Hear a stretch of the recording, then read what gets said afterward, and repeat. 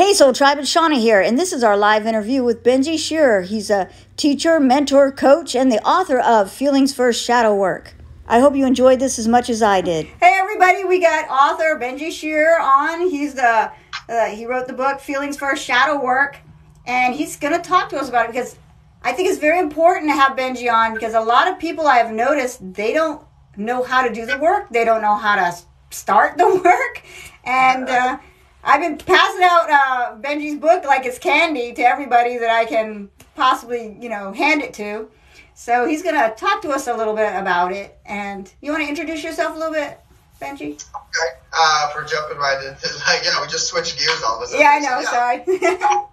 so my name is Benjy. Um, if, if I need to describe myself these days, I'm a teacher, mentor, author. That's that's what I do. Uh, you know, Sean and I were just talking. I hate the word guru. That, that's yeah, what yeah, yeah. um, and even like light worker is uh, it's. Uh, there, there, are a million topics here, but like light worker, some it's a term that I associate with but I think that a lot of people overthink these terms as well. Mm-hmm. So, you know, I'm a light worker in the sense that I take it upon myself to live my life in a way that's going to help the world, you know, to try and be of service to humanity, which, just by the way, to anyone who's on this, who's on the twin flame journey, that whole being of service thing is an integral part of this. It's not just this romantic, nice, happy, whatever, or even a challenging relationship. It's about leading you towards this kind of mission work, however you want to put on it, put it.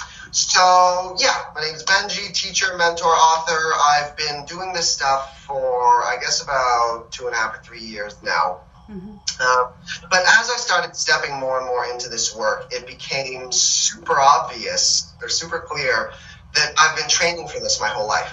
Like, right. these are the answers that I was seeking my whole life um, in the sense that I always felt like I was here to do something. Mm-hmm.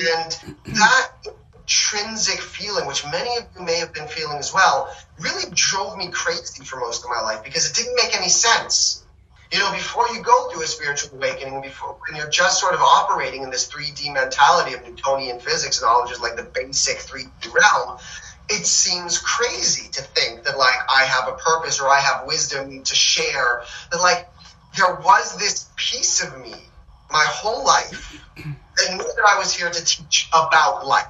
I didn't know about shadow work or about emotional healing, but I knew that I had this in me.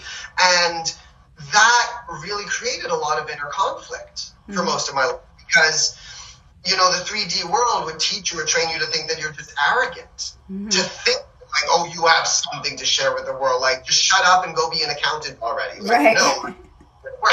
so I spent my whole life desperately seeking answers in a lot of ways, um, including my degrees in philosophy and religion. And so, through my searches in academics, philosophy, and all that sort of stuff, well, by the time I finished my degrees, I had a very pessimistic sort of outcome. You know, like I was I was studying philosophy because I was desperately seeking some gap in logic somewhere where I could put God or the spirit or religion or whatever. Basically, I had a super intense fear of death.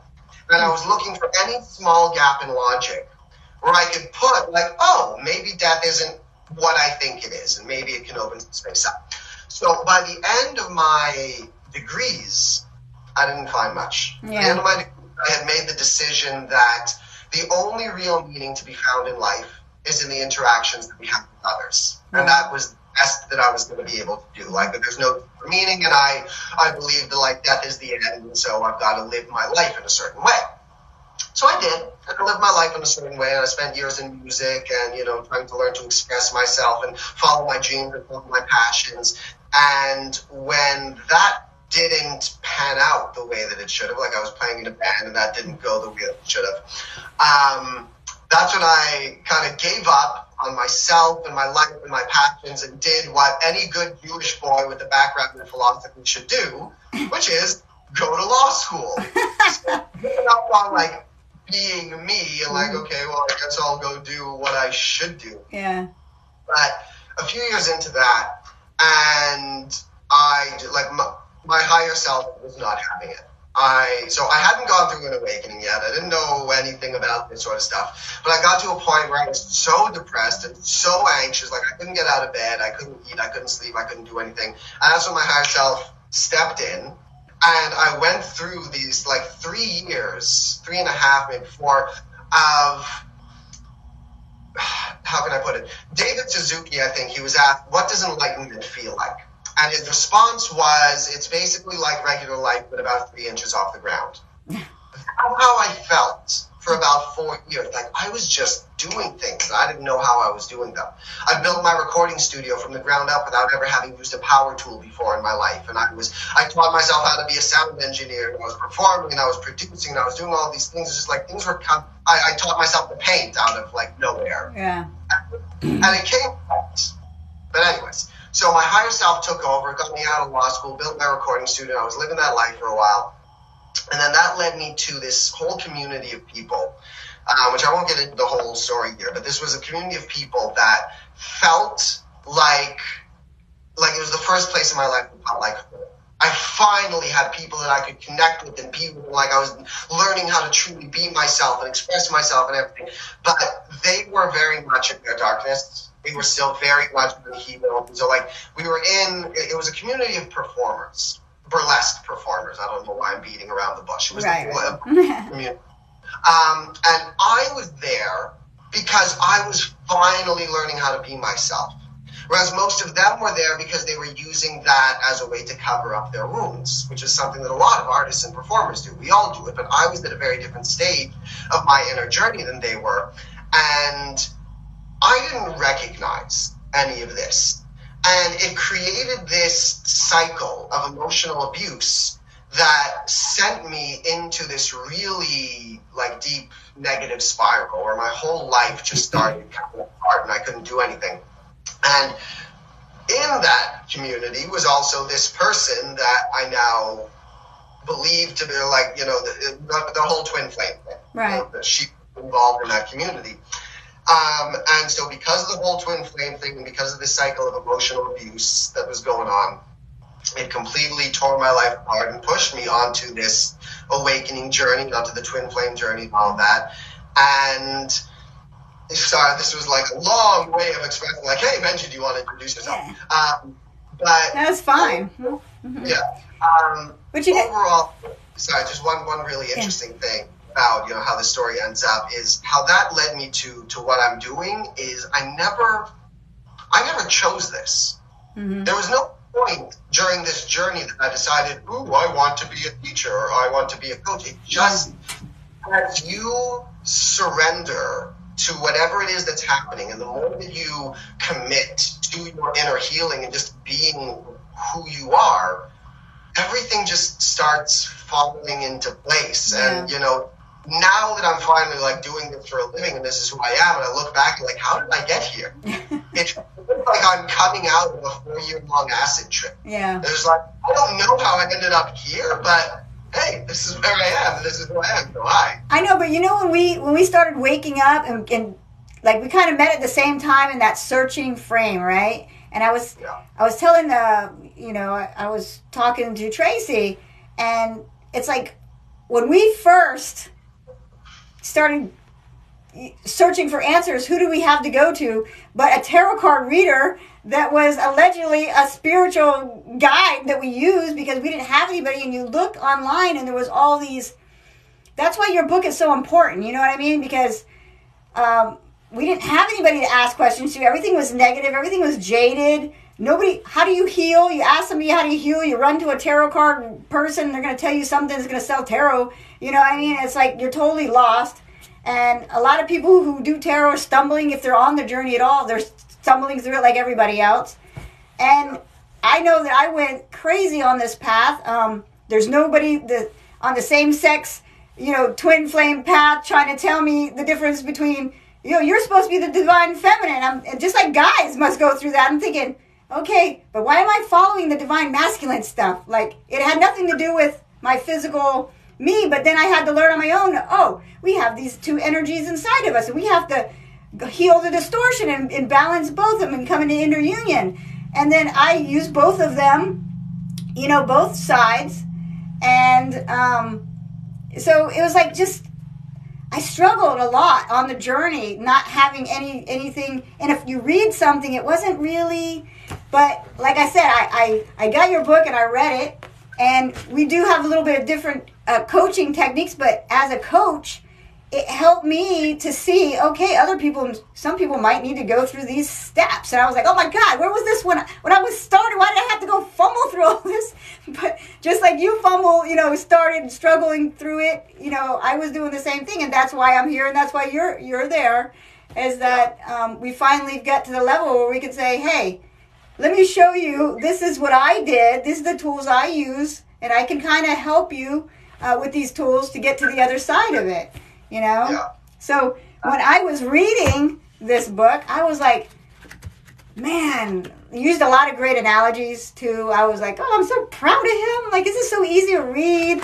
Like, let me tell you something. I bought one of Dr. Phil's books a long time ago, and you're thinking Dr. Phil would write. No, that thing was.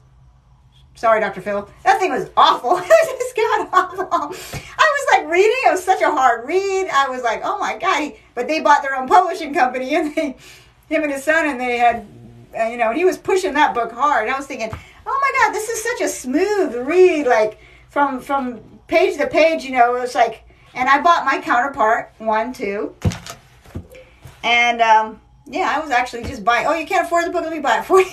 whoever whoever was connecting with me, I was like, oh, you're having a hard time. I'll get you that book. Don't worry.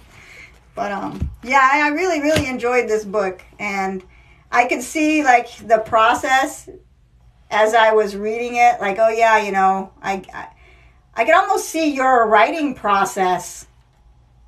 You know what I mean? Like, maybe to be honest, like, um, well, I I know without ego and whatever, like I'm a good writer. I know that. Yeah. But what's really interesting about this book, and and the two books because there's a partner book with it.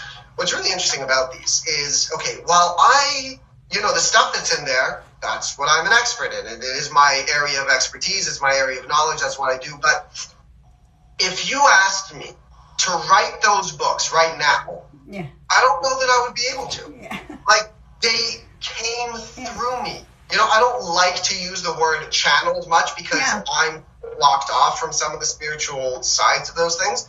But that really is how it happened. Like I had already started writing like I'd written the first 30 pages of the book before I even decided I should write a book. Like it just started coming out of me. So mm. you were saying about in my writing process. My writing process was like my higher self stepped in and then like I wrote both of the books in a yeah. And then spent another two months editing them and polishing them and, you know, building all of the, the infrastructure around them of mm. how to get them out there and, you know, getting the the designs done and getting the interiors yeah. anyway. So but you, but the thing about it is, it shows.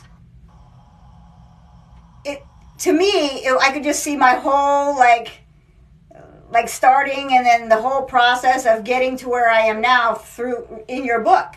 In a way, you know the way, the healing process, the what I, I struggled through, but it's right here in, in you know on paper. And I, I remember writing, you know, my background is in religion, right? So I remember writing these books, and I told you I had written three books, and I didn't publish them all because I look back at it and I've grown so much. I, I'm like, that's not me. That's not me anymore. I don't believe in that stuff anymore. So I didn't want to do that. I didn't want to write something that I was like not wanting to back later on. But, you know, it was like, except for this other book that's still kind of lingering about past lives. Yeah, I'm very much into that. But well, stuff it, it always happens naturally, and like there's plenty of stuff that I had started writing or started working on before that you know similar to you. Like I, I wrote it for whatever reason, but by the time it came, like when it was time to think about, do I want to put this out? Do I not? Like yeah, I didn't resonate with it anymore. Yeah, yeah, t- totally, total growth, right? You know what I mean?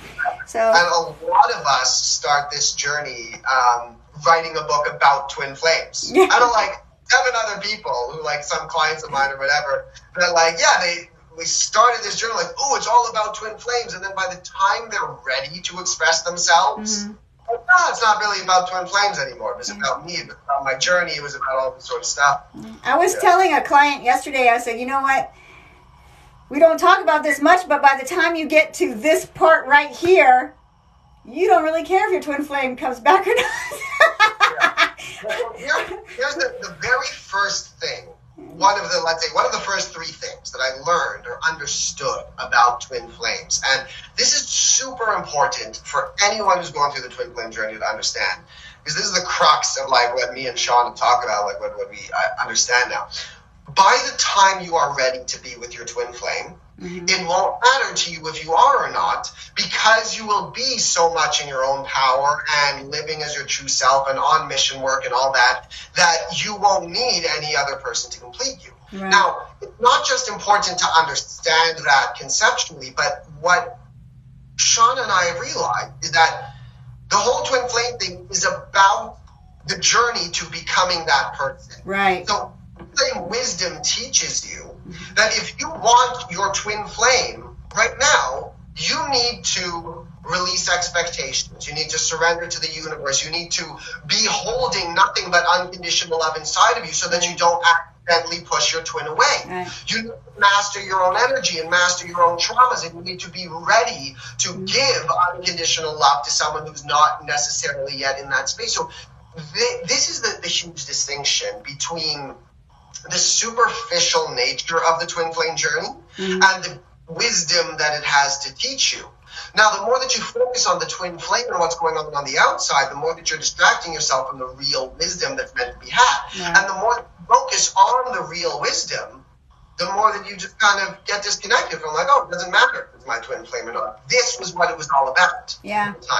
And, and you know what I noticed too? That I've been focusing a lot on talking about filling your own cup up because your counterpart is not going to give you love. They're not going to give you any love. They're not going to show you any love. And that's to teach you that you need to love yourself and have your own self worth because nobody needs to fill your cup but you.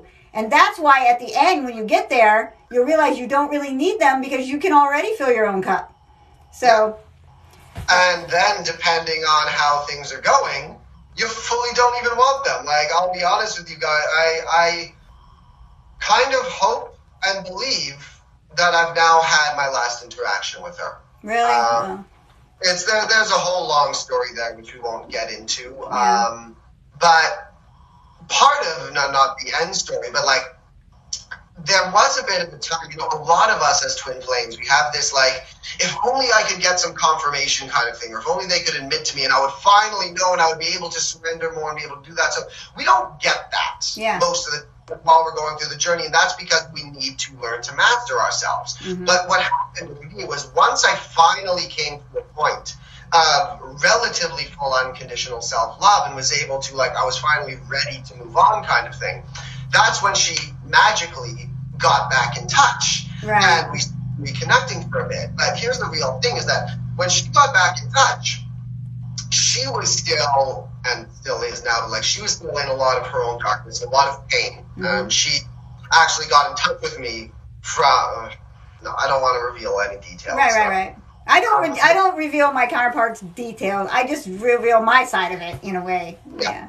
But so she was in a dark place when, yeah. when she got in touch, and I'm bringing this up because what happened was at the time, I, I in hindsight, I kind of see it as a test, like how unconditionally loving was I? Mm-hmm. Because she, like, she, she had never been there for me.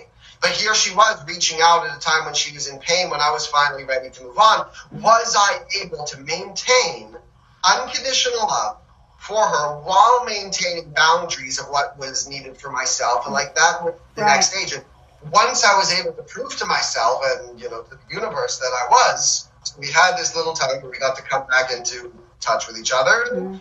Now drifting away. I think. I think a lot of people think that their counterpart is on the same journey as us. They're not. They go through a different experience. And also, they think that they're going to come back because people say, oh, they're going to come, they're sovereign, they're the sovereign me. No, they're very much connected to the 3D world. They, they, they learn, they don't seek their own healing.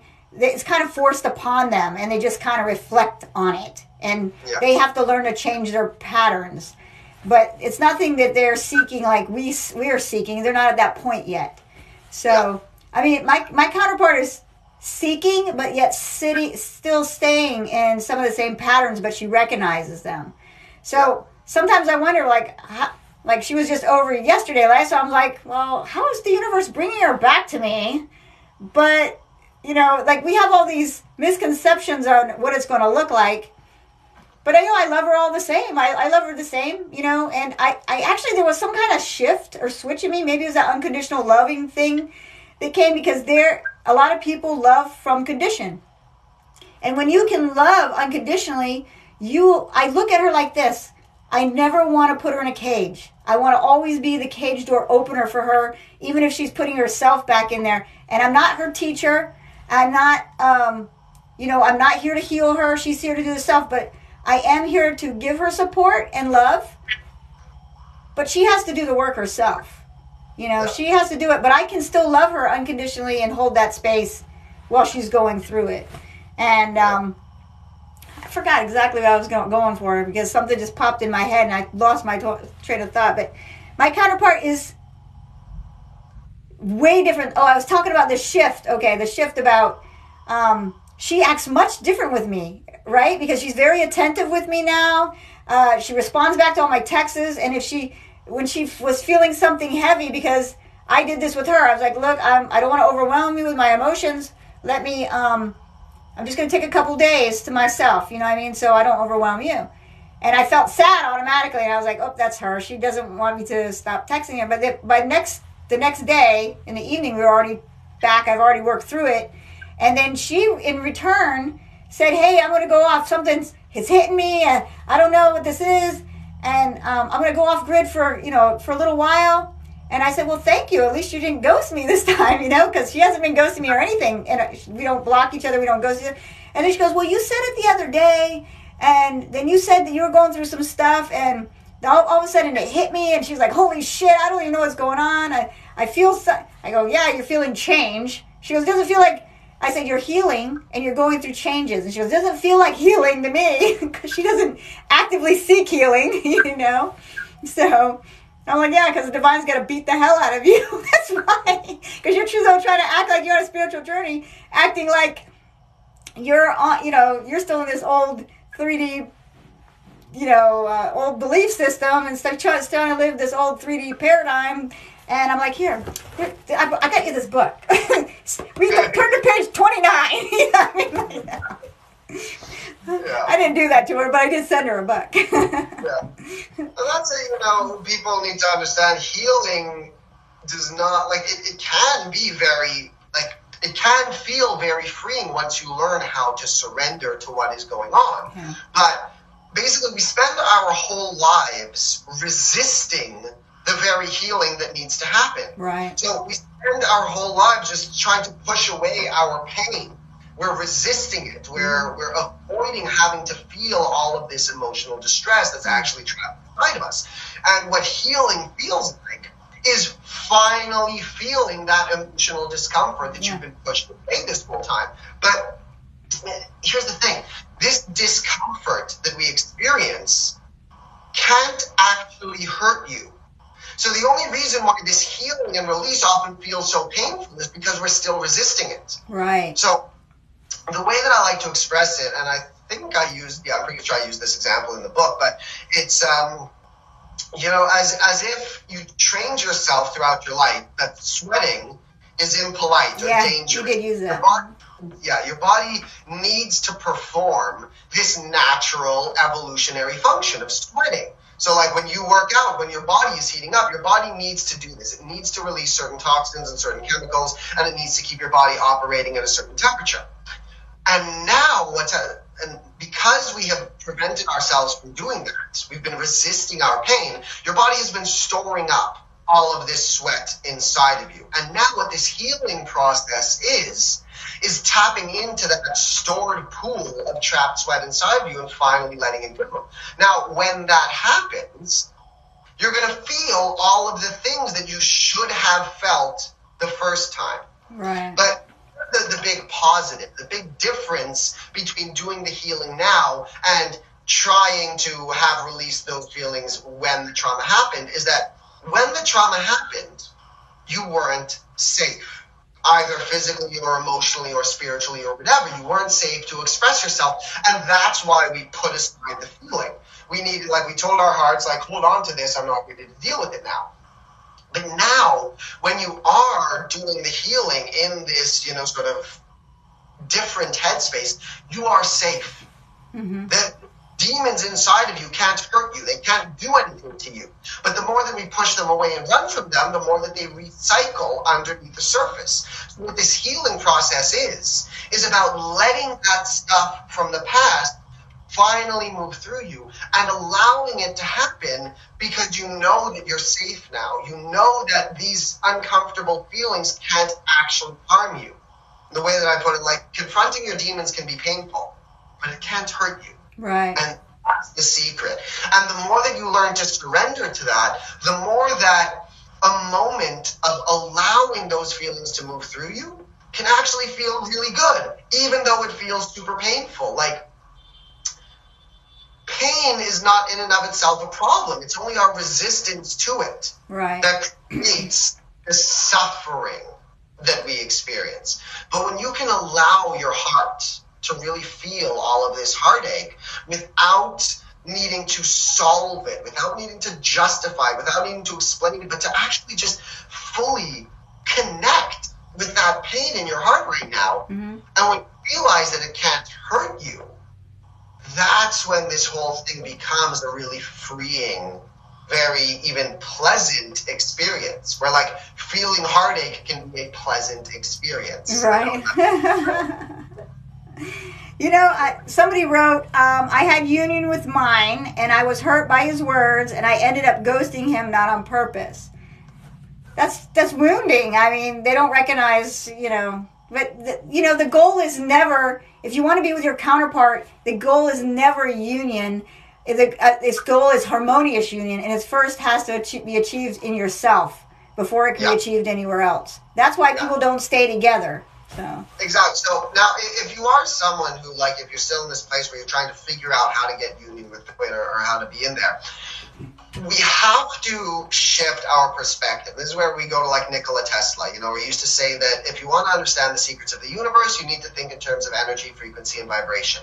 So if you want to be with your twin, then you need to start thinking about this in terms of energy. Mm-hmm. And any this this is how the whole runner and chaser dynamic comes to be. Mm-hmm. That when when you are chasing someone, you're putting off a certain energy a, magnet, a magnetic kind of energy where imagine you have two magnets that are both positive. They, they push each other away. So the more that you're chasing someone with this positive, not positive in terms of good or bad, but positive in terms of like magnetism, when you're chasing someone with positive energy, it pushes them further and further away. Right. So if you want to be with your twin flame, the only way to accomplish that is to learn how to sit down in your own energy and just be, or the, the way that I put it is learn how to be the flower, not the bee. Yeah, I say the stayer, not the runner or the chaser, the stayer. But you did yeah. use, the, you know, the uh, analogy of the flower, which is great. Yeah, so. that's it. So you need to learn how to be there in your own energy. Just like sit there and allow this person to, to, to come to you. It's sort of like trying to get a timid, abused puppy to come home with you. Right. If you chase them and try and pick them up, they're going to run off in the other direction. But if you just like, hi there, I hope you're doing all right. I'm going to keep walking in my direction, and you walk at your own pace, and you let them follow you. That's how you can get them to, to you know to open up and to speak up to you. And here's the secret that we were talking about before: mm-hmm. is that as you learn to do that more and more, it becomes less and less important to you whether or not this particular person is going to follow you.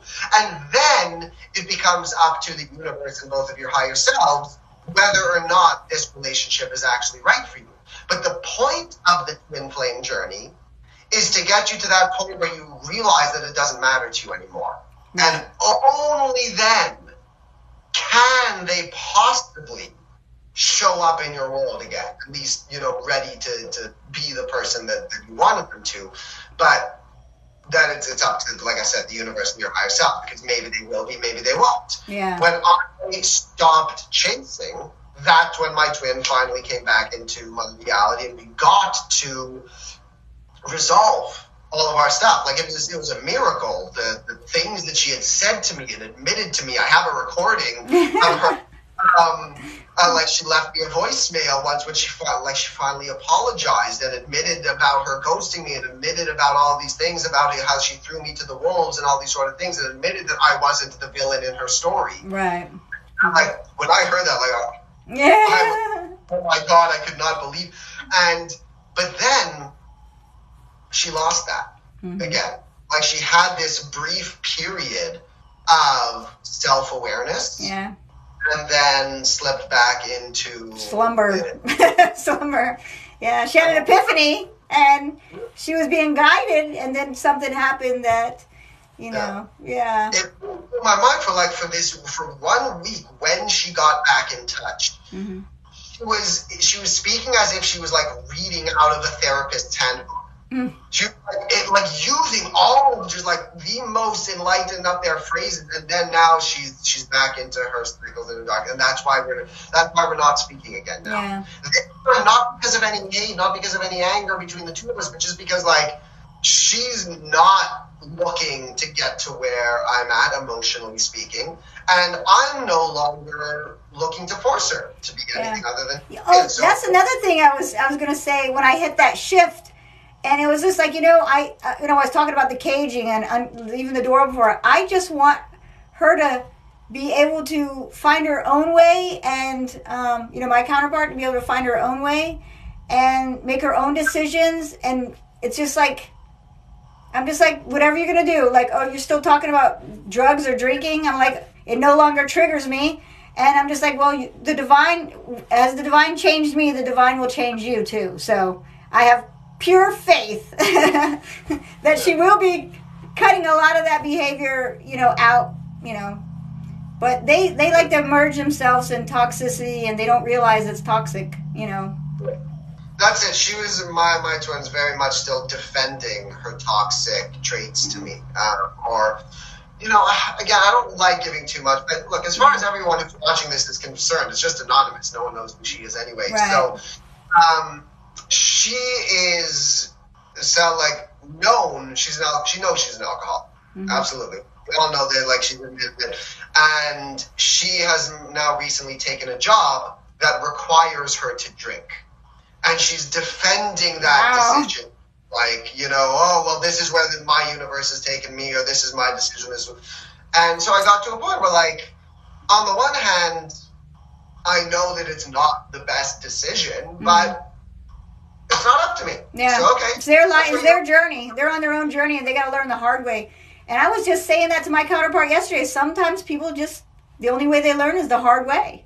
You know, you keep. Uh, it's look. Sometimes it is just about divine timing. You know, like I didn't get to decide when I woke up, and right. you didn't get to decide when you woke up, and so that's that's why I'm conflicted a little bit. That on the one hand, like I can, you know, when you see someone destroying themselves, and on the other hand, there's our interpretation of divine timing and divine providence kind of thing. Like, do I just accept that this is her journey, uh, or or should she just accept that this is her journey? Like, I guess what I'm trying to get at is I very much am confused these days. About- I believe that we truly write our journey before we come here the destiny yeah. is at the end is the same, but the, the choices we make, you know, we have the choice. Do we go this way to the journey or this way to the journey? One is easy and one is hard. And everything is for a reason. I totally believe that everything happens for a reason. There's no such a coincidence. There's no accident. You know, um, we got here, we were on autopilot, and we still made it here. We now we're conscious, and even conscious people get in their own way. At what point does that become an excuse. So, like for you and me, for example, like I didn't know this stuff mm-hmm. before I went awakening. Whereas the irony with her is that she's actually aware of the universe. She was actually more spiritual and more aware than me. Being um, aware and, and, and actually living the life is completely different, though. We actually live the life. yeah. But so, so where is the line right now? When she says something to me where like she's an alcoholic who just chose a job and like this is a long term career thing. Mm-hmm. Like she, this is a job that has benefits and will pay out of this, so she's committing to this in the long term. And then she's telling me like, well, my universe took me here, so don't try and tell me about like because I, I tried to have this sort of like mini, um, what's the word I'm looking for? Uh, it's just going to end up as a karmic lesson for her. in, in intervention. Yeah. Like I tried to right. express to her. I was very calm, very loving about. I just wanted to make sure that she had thought about this decision that she's making. Right. You know, have, have you considered, you know, what it is that you're really committing to by, by taking a job like mm-hmm. And so she then tried to respond like, look, this is where my universe is taking me. Mm-hmm. And this is what I'm asking right now, where is that line between like if you know about your journey, but you're justifying and reinforcing your alcoholism because oh well this is just where my universe is taking me but that's her that's her journey. That's her story. That's where she has to go. She has to hit rock bottom you know that before she can rise up. And the journey will take her to hit rock bottom. And we don't want to see that. We hate to see that for our counterparts but there's nothing you can lead a horse to water you can't make them drink. You can give people all the tools to healing but you can't make yeah. them use them you know and so that's why, as I said earlier, I, I kind of believe and, and, maybe even hope that we've had our last interaction at least for a while because yeah. because it's not up to me. I can't make her drink the, the healing. I can't make her see the stuff. Right. And if she committing to that is like this is her journey, then then that's fine. Yeah. And here's the thing for you know for twin flames to, to consider while you're going through this um, is that even if let's just say you you believe that you are absolutely destined to be with your twin flame. That that is the like. There's no way around it. That's what this is. Like if you have your twin flame, you guys are meant to be together. Let's just say that that's true. Mm-hmm. It could still very much be the case that her and I are supposed to come together like 40 years from now. Like we're still pretty young. Yeah. Maybe we're supposed to leave this earth together. But if you cling on to this idea that you and your twin are meant to be together right now, and that like even for a part during my journey, for example, mm-hmm. I believe that I would not be able to fulfill my mission without my twin by my side, which was just a limiting belief. But like if you hold on to that, I mean, like Tracy and Glenn, you might be using your story. She's talking about I could never do what they're doing. You know what I'm saying? I could never be with my counterpart trying to heal with them. And I even told my own counterpart that we need this separation because I, that's not I I know I wrote my story the way I did for a reason because I could not be with her. I would be jealous and controlling and I would never heal with my counterpart. Until this point now, I'm just like whatever you're to do, you're to do it. And I'm just to keep living my life because my life is great. I live a I live a beautiful life, you know? I want nothing. I have a need for nothing. So things just come to me. Yeah. You know, I'm living the best life I can possibly live in. I keep changing every single day. So you can have you can have the life you're living in toxicity and and um, repeating patterns, or you can hey, look at this life I'm living. It's awesome. you know, it's like come live happy life over here, stress free. yeah. But that's it. That's what this is all just pushing us towards is yeah to discover our best lives. And I think like even both you and I, if, if we want to use the word best, yeah. I think both you and I we, we've got even better to look forward to. Our lives are just oh, going to. Oh yeah, I know. I I mean I. I retired. I don't even have to work. I do this because it's my passion. That was the 2020, May of 2020 the government finally said, guess what? You win. Here's the blah, you know, the, something I've been fighting with the government on. And they're like, here, you get a paycheck every month and it's beautiful. I'm thinking, thank you. Thank you so much. Thank you, universe. I needed that. So now whatever I do, you know, I, I just do it because I love to do it. I, I, you know, I mean, TikTok is becoming kind of a job, but it's like I'm passionate about it. When you're passionate about something, you're successful at it. So, yeah. You know, I can do healings and talk to people, but I, I, tell them, look, I can heal you. It'll heal your physical pain for a few minutes. But unless you get that wound, unless you get down to that wound, it's going to come back because the divine is trying to tell you something. And this is another thing I tell my counterpart. She sees everything through the physical. And I'm just like, you know, I no longer look through the physical. I see everything as a spiritual intervention. You know, everything happens to us for a spiritual reason or cause or whatever. And once I understood that, then everything was like, well, how can I learn from this? You know, what are you trying to tell me now? And it really started a conversation with my spiritual team and my, you know, my angels and whoever I connect with. So everything to me has a meaning behind it. Everything is a lesson to me that I can look deeper inside of myself and say, okay, how can I learn from this? What am I getting from this? That's a little much. I know. I over. Um, I, I fully get what you're saying. I fully, I fully resonate with it as well. But I also do kind of want to give something of a warning to, to you know any uh, to people who might be listening that it is a danger for some of us to over spiritualize things. Mm-hmm. So I'm not denying what you're saying that like everything does in fact have a sort of meaning and an understanding and lesson behind it, but a lot of people kind of cling to the spiritual element of that a little too much, which distracts them from the inner healing that needs to be done. Like it's very easy to just write things off and as, oh, well, you know, the universe wanted that, or it's just a lesson. Oh, no, no, I don't say that. I, don't, I don't say that. I'm not, yeah. I'm not saying, yeah. I'm just saying yeah. sometimes when we say these phrases of like everything happens for a reason or everything has a meaning, some people misconstrue that. Yeah. And end up lost in these cycles because, like, we, we need to find that balance, mm-hmm. I think, between the 3D understanding of things and a 5D understanding. And I really think that that is, in fact, what this whole ascension is about. You know, that people talk about what's magical about this ascension process that we're going through mm-hmm. is that, like, for the first time in history, we got to a- achieve this ascension while maintaining our physical bodies. Mm-hmm. And that is what this journey is about. We are learning how to be spiritual beings mm-hmm. living in the 3D world. Yes. We yeah. don't get to separate the two. Yeah. You don't get to just disconnect from it. Like being a spiritual being mm-hmm. doesn't mean that you don't have to look both ways when you cross the street. Right, right, right, right, right. As spiritual as you want, but if you get hit by a truck, you're still gonna die. Yeah, I. You're gonna wake back up in your spiritual self, and that, that's great.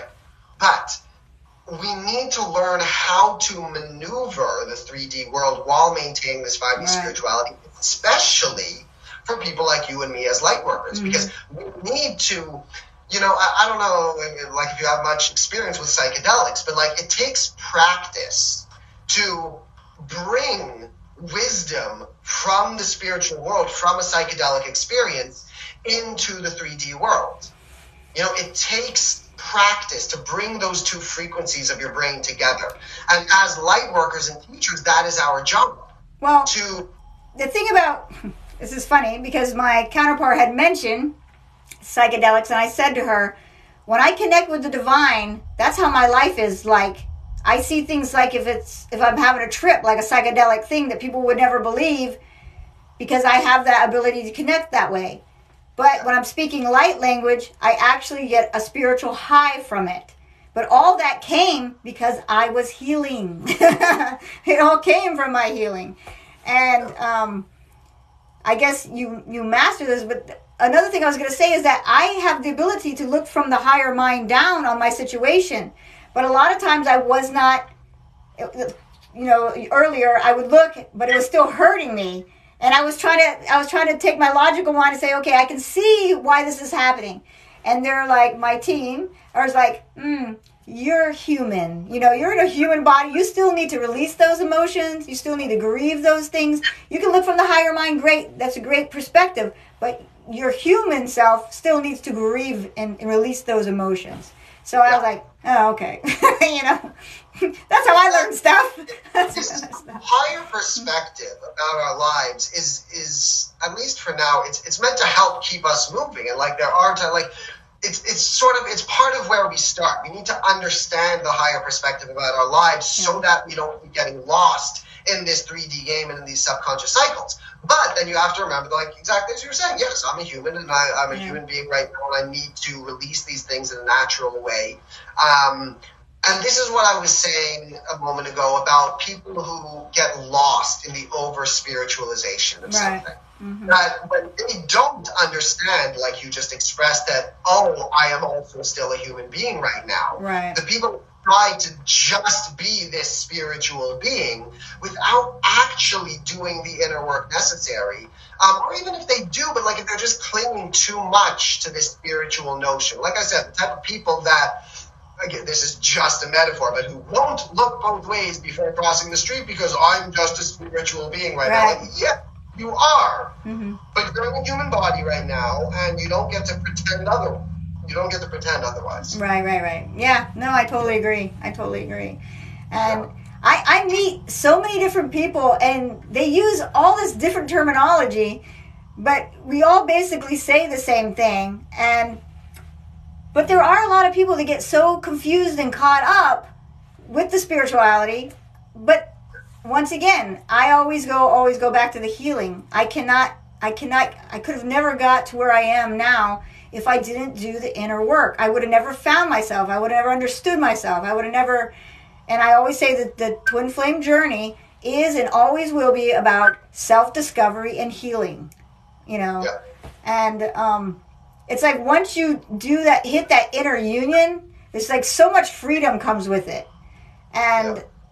I don't, I don't, I can't even explain it myself. That shift that happened with me, and I just saw my counterpart as a different her like her own little being and i've always seen her on her own journey i've never in the very beginning i thought we were on the same journey doing the same things but i learned very quickly that we were not going through the same things you know that's, that's an interesting point also that like there were a lot of intuitive messages that i got while i was on my twin flame journey mm-hmm. that weren't necessary to push me in a given direction but which i later discovered were not true at the 3D level. Like, you know, thinking about our twins as being on the same journey or thinking about getting some intuition about what your twin is going through at this very moment mm-hmm. that required in order to get me to do certain things or blah, blah, blah, which I later discovered like, oh, no, at the 3D level, it wasn't true that she was going through this. It wasn't true that she had the same sort of thoughts. And I, in fact, made a huge fool of myself by trying to, which just as, as a random note for Twin Flames, I personally, maybe you have a different um, opinion here, but one question a lot of the times is, do you tell your twin about the whole twin flame thing when you go through it?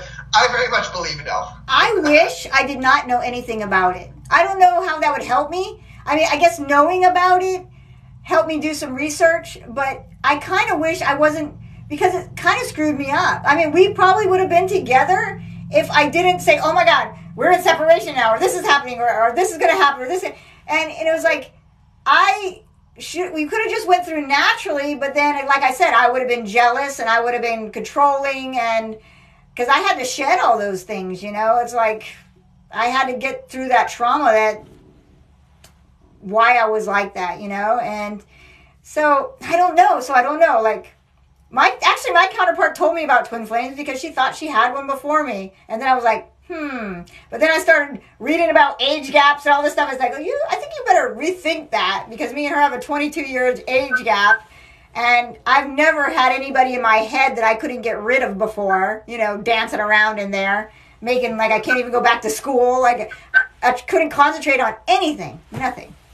Yeah, so, that's, but I, but I do we do have a gift of this divine mirror, and people don't sit with themselves long enough to understand that they can figure out, they don't need to run to tarot or anybody else because they can feel what their counterpart is going through. But a lot of people get lost in that energy and claim it as their own.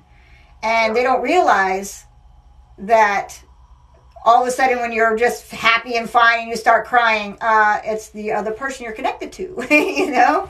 Or like me, I was feeling like this really just lately, recently, I was like feeling this. I'm like, I don't like this feeling I'm feeling. It feels weird, like almost like I have a baby or some kind of transformation. Is I felt like it, some kind of transformation was happening. I'm like, mm, I don't know. And I said something to her, and then come to late, find out it was her. You know, she's like, she's like, I can't take this.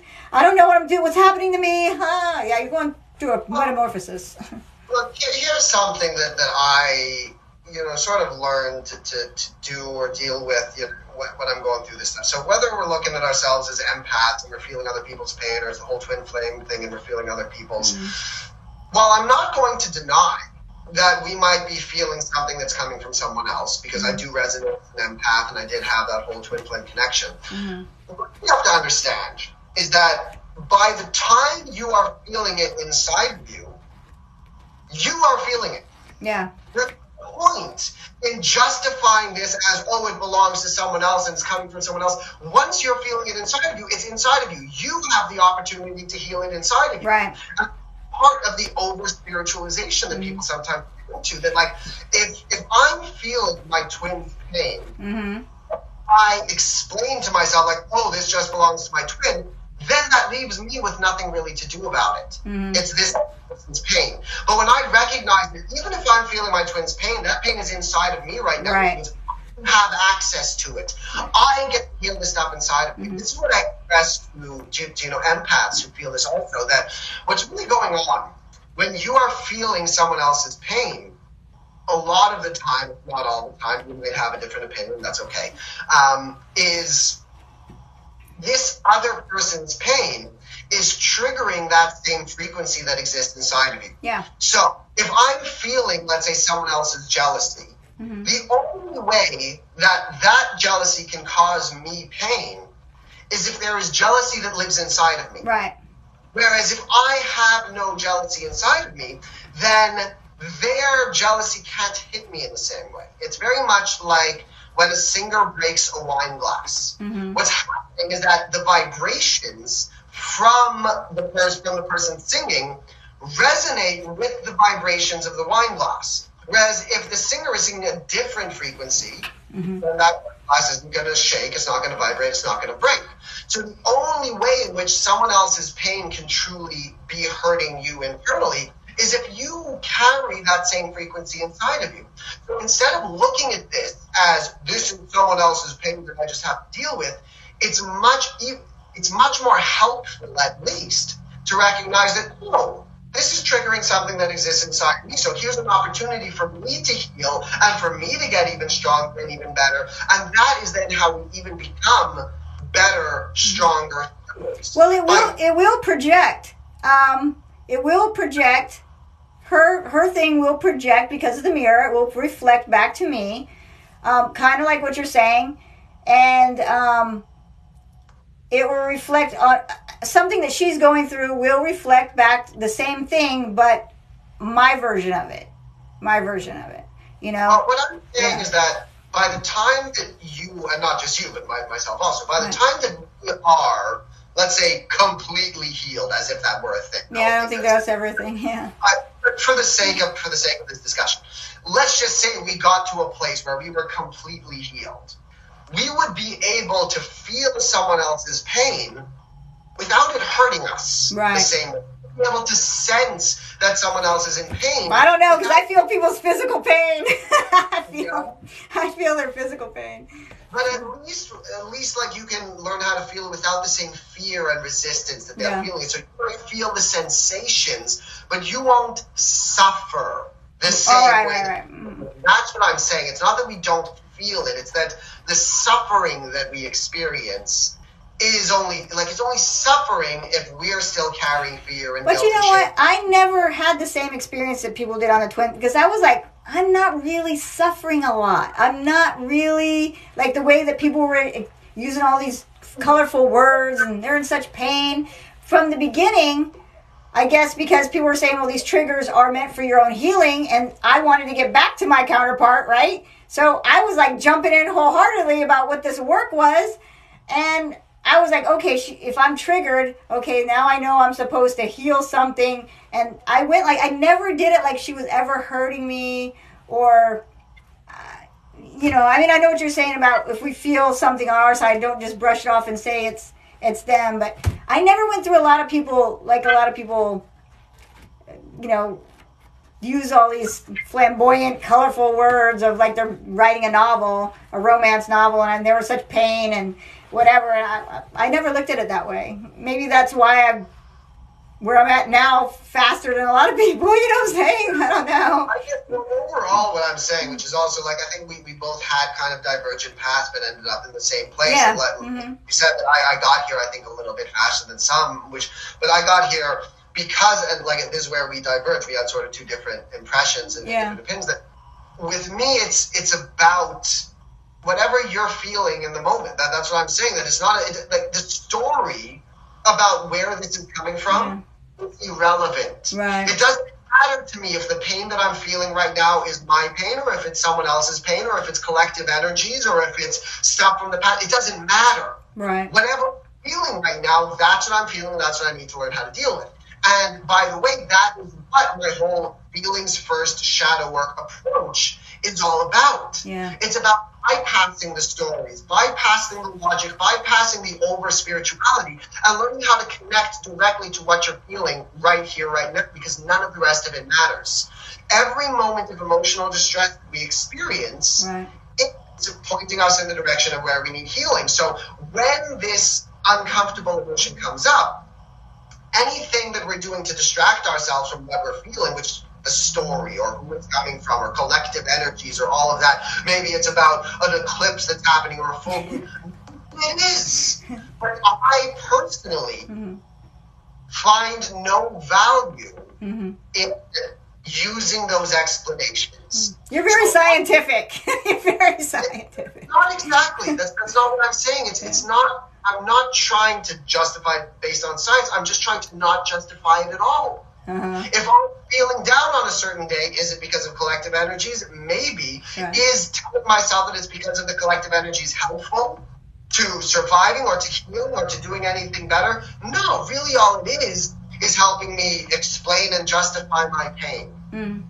Just not helpful, so it might be the case that it's the collective energies or the supermoon or whatever. But telling myself that is not going to help Hmm. So what I focus on is not the stories, it's the feeling. I learn how to just feel whatever I'm feeling in the moment. And the more that we can learn to do that, the more that the unresolved emotions can move through us. And then we can naturally learn to connect to the spiritual side more in the way that you do. Mm-hmm. And, and I'll be completely honest, like I do feel disconnected. Like I can't connect to the spiritual side in the way that you do. Right. And I but I could. I want to. I hope that I get there eventually. Yeah. In the meantime, and this is, I think, you know, an important distinction that I think we there are reasons why I can't connect, and there are reasons why you can. And I think that one of those reasons is because we are meant to help different people. Right, right. There are there are people that need my perspective, which right. is all about emotions, and there are people that need your perspective a little bit more, which is about the channeling spirit and, and the guide. And if I was able to connect the higher dimensional spirituality in the way that you could, then I wouldn't be at this frequency and this space in order to help the people that need me. Yeah, but it's very hard to maintain this. Um, people don't really understand how hard it is for me because my whole life has changed. It's not easy to just, I have to be a very high vibrational, my body has to be maintained a very uh, high vibrationally to channel. I have to eat healthy foods all the time. I have to be at a certain vibration all the time. And that's conscious thinking, feeling. You have to be aware of everything I'm doing and, and you know what I'm saying? I isolate all the time. It's it's not it's not easy. And and people that are channeling, I mean, like there's a huge difference between like people what I what I do and some people that do the same exact thing. A lot of people they hear light language, oh yeah, or they people are doing reiki, and all they're doing is this, and they're not making a sound. And people don't feel it, and then they jump on my jump on my feed, and all of a sudden they're talking about, oh my god, why am I feeling all this stuff? Why am I feeling it? Could tell me why my throat, my stomach. I'm like, it says powerful, blah blah blah. you know, like because you know one, uh, you know, celibacy. That's a powerful tool, and um, you know, being. Hey, the journey is body, mind, and soul. It's just not focused in one one area, but most all of it is healing. we cannot ascend. We can't do anything without inner healing. So that's what I'm saying. God bless you for writing that book because, you know what I mean? Like, I can't write that book. I, I, you know, I don't have the patience for it, even though, you know, and it's just exactly what people need right now because I connect with so many people, and what, what are they telling me? I, they don't. I realize this. They have no idea where to start. They have no idea how to do any type of shadow work, any type of inner healing work. They don't know what a trigger is. They think people are hurting them. They don't realize that it's an emotional wound that's, you know, popping its ugly little head, emotional response. And um, I wish that I could just drop these from an air, from, from a plane. I really do. And I'm glad you wrote another one, like a follow-up book. Because I would put little, I would put little, um, you know, parachutes on them, paraphernalia on them, everywhere. Yeah. People everywhere, please, please. Yeah. Buy Benjy's oh, book. I trust and believe that it will find all of the people that it needs to find on its own. And, yeah. uh, you know, that's the beauty of a book like this is that it lasts. You know, people will be reading this stuff hopefully for the next 20 years. Yeah. And, is, uh, is this because you, you're also a coach, so I know you got eight. A mentor, but yeah. Okay, a mentor. So is this the same thing that you're teaching? The same exact thing, or there's more things that you go over Well- in your?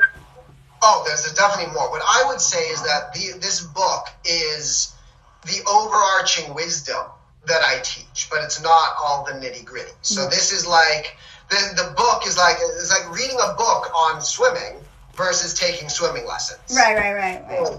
You know, in my mentoring and in my course, we dive into all of the nitty gritty and how to actually, you know, do all this sort of stuff. Whereas the book is the overarching wisdom and the overall guideline, the outline of what this journey is supposed to. It, the book is everything that you need to understand about the healing journey so that you don't get lost going in circles. Because so many people, and this is what the whole feelings first thing is about, which you know, is that so many people spend all of this time hunting down their trauma, you know, trying to do this logically and analyze all this, whereas that's not what this is about. Answers will come the more like you need to connect your heart space and raise your emotional levels and become aware of this stuff to even make sense of the answers that you might find analytically if mm-hmm. you're searching for your trauma and all that sort of stuff. Like chasing down your trauma analytically is it's kind of like a dog chasing a car. Even if you caught it, you don't know what to do with it Right, right, right. it's about learning how to let this stuff out naturally. And as you learn how to embody unconditional self love a little bit more, then all of these things will start making sense to you. Mm-hmm. All of the revelations that you need will start happening naturally. But this is about building emotional muscle and skills and tools so that you can be ready to receive all of this knowledge and all these revelations and to, you know, to step into that higher version of yourself. Right. So, Let me yeah, show you. Let what- me show you his book, guys. Let me see if it'll show on here. Not too far. Here's his book. Right. Feelings First Shadow Work. Yep.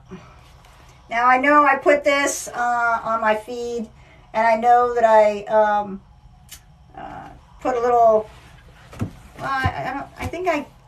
I'm not sure if I connected you with it, but he he is on TikTok. He just started out on TikTok, so if you guys want to follow Benjy, what is your what is your thing under? My, I think my channel is it's Emotional Mastery two two two. Okay. I think that's what it's called right now. Um, and for any of you who are interested in the book, you should know that you can get it on Amazon if you want. You can get the the uh, the au- like the audio version or the physical version of the PDF, um, or like for your Kindle. Um, but if you want on the website, you can get it a little cheaper as well. And with it, you'll get um, ten guided meditations and five manifest audio tracks. Uh, the website it's benjysherercoaching.com I'll put a I'll put a link to it. so slash ff book. ff is feelings first. So yeah, she'll she'll put a link, but yeah. Yeah, I'll, I'll make sure you guys have a link to him. And so um, you get either the PDF or the audio book, and it comes with those bonuses. So if they want to reach your coaching sessions, they go through your website too, and to schedule or Yeah, well, I don't. Um, I'm not actually doing coaching for Right. now. Like, I don't do one-off sessions. I have my course that I teach how to do this, and the reason is because, like, look, if we were to do one-on-one sessions, Mhm. we could do one-on-one sessions for the next ten years, Right. Because you up every day and like you're just going to talk to me about what's going on in your life, and we're going to go around. Like, I'm going to give you like just very specific answers right now, but the course has everything that you need. It's all of the life skills and tools that you need to master your emotions. So my goal overall with the course is that by the end of it, you shouldn't be reliant on me or anyone else. I I say the same thing. I'm like, look, I'm a healer, but I don't want repeat customers. I don't want people coming back to me. I want to give you the tools. I want you to be able to do it yourself. You come to me, and, eh, you Yeah. know.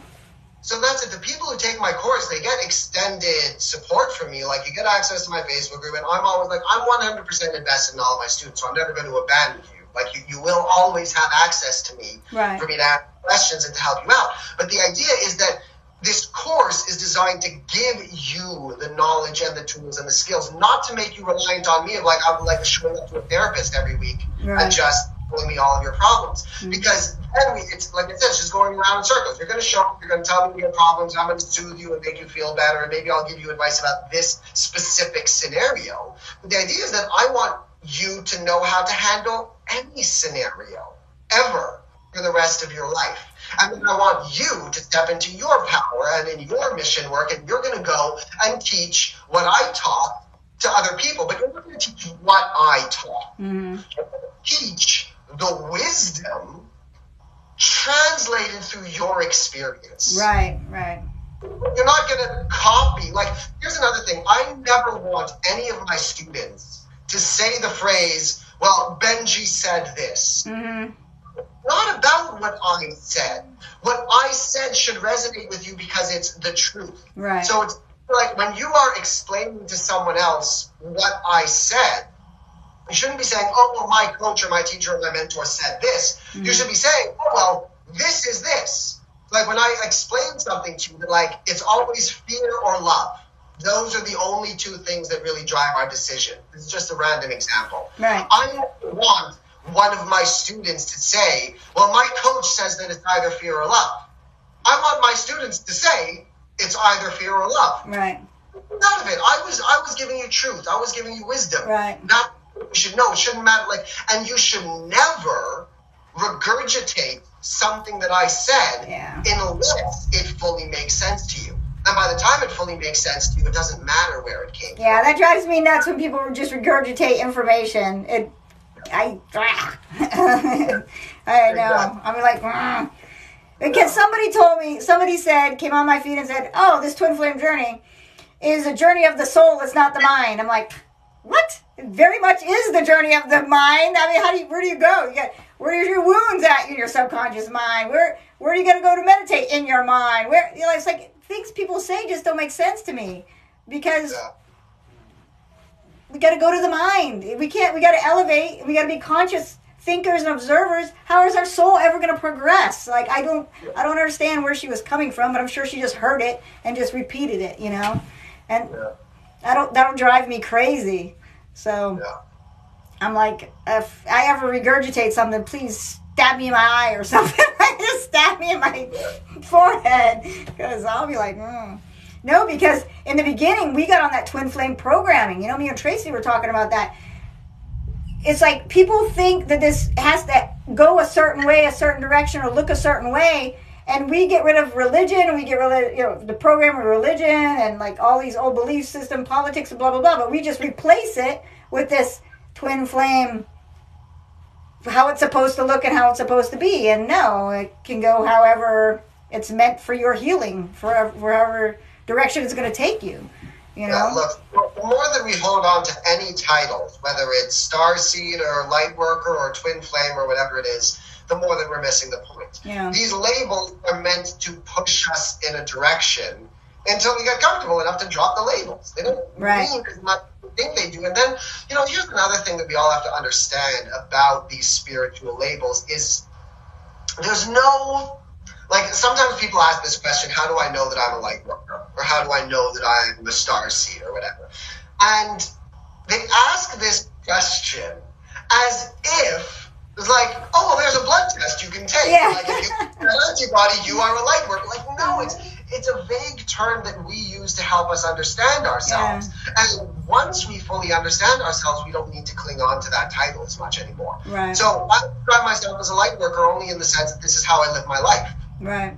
Well, I, I was I dropped the whole twin flame label for a long time, but in order for me to um, achieve what I want to achieve, I have to use the title to attract the people that need to hear the information. You know what I mean? But there's nothing wrong with using yeah. these to express something to others, but we need to be less and less invested in that as our identity. Right, right, right, right. Belong. But that's it. Like I no longer cling on to any of these terms. Sometimes I need to use these terms because we are teachers. We right. need to express to people. But at the beginning, we are very much invested. Like I am a twin flame. We take so much pride in this identity of it. Yeah. And the further that I get in my journey, the less I have any ideas about identity whatsoever. Like I don't know who Benjy is anymore, and it doesn't matter because I'm really just a vessel. You know, yeah, I just yeah. And the more that I let go of my past and let go of my future, the more that I just am. So who is Benjy? I, I don't know. Benjy is who I'm talking to right now. That's it. Right, right, right. I, I Benjy. You can if you want, but I, don't, I don't even know anymore. And it's like I do feel more and more like letting go of ego in the sense that I don't even, I can't even envision like something that I could accomplish in my life that would define me. It, it doesn't like now it's. I just I realize more and more and more how at the end of the day we're all just moving through this world, and by the time that we're old, like you can't even look back on your life and compress it into anything mm-hmm. that's one. Just we're just floating through this world. Yeah, just going with the universal flow. That's all you can do, and then you're gonna go back, start over again. if you're lucky, if you're not lucky, if you're lucky, I don't know. So uh, I don't know. You know, people have all these ideas, but I definitely hope I'm coming back. I don't. I don't think that this is my last lifetime, if anything, and I very. I very much look forward to being young again in a more awakened world. Yeah, know? right. Because we do continue where we left off. So if we're awakening now, I can't imagine what the next our next life would be, or how would we come back and navigate that? That would be very interesting. Or yeah. maybe we go somewhere else and navigate that yeah. that vessel or whatever. I, I don't know. I can only think about right now too. I just think about now. I try not to think too much about the future, although I do have things that I do think about. I guess think about, you bring about, manifest it or whatever. But I don't put any attachment to it. So. Yeah.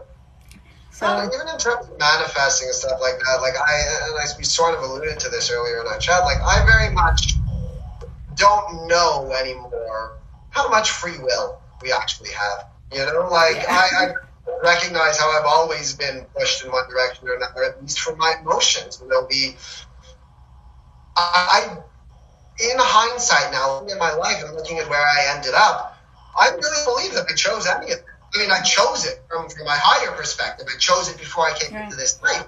But everything else, like, it happened when it's happened, when it happened, and there's nothing that I could have done yeah. to either make it earlier or make it happen later or not make it happen at all. Like, there were even things that, like, if you had asked when I was 10 years old how I thought my life was going to go, I actually would have given you a super accurate answer, including all the things that I didn't want to happen. Like at 10 years old, I knew that I was going to end up in law school, even though I didn't want to be there. Huh. and there I go, it all played out. And like, I knew how, I knew, I didn't actually know that I was right. I knew how my life was going to go up until my awakening. Like, I knew how my life was going to go until about the age of 27 or 29 you know what's and funny, that, Benjy? When you say you knew what you're gonna be. When I was like ten, I was having a full mass in my room, and my mom and my brother were my patron, like my my uh, little, you know. And then I ended up being an outreach pastor. So like we do repeat things. Like that's a glimpse of our past lives repeating, you know. So but for me just some part of me knew why i was here like i don't know i just i had this I, I could see everything up until my awakening. Like yeah. some part of what was happening, and then when that started happening, now it's now it's all up for grabs. Right. Like coming next. Right, right. Yeah, you're absolutely right. That's true. That's true. That part thirty was actually really scary for me because all of a sudden I was past this age where I understood anything about myself and about life. Yeah.